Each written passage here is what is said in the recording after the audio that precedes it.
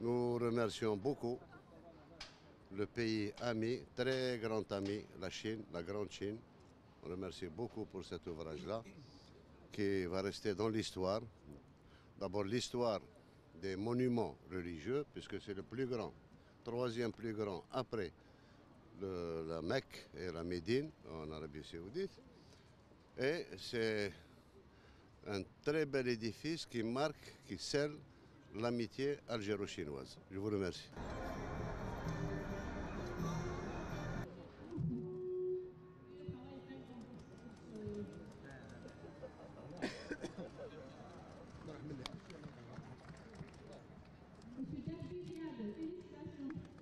那么这个项目呢，建造标准非常的高，按照千年工程啊、来设计和建造。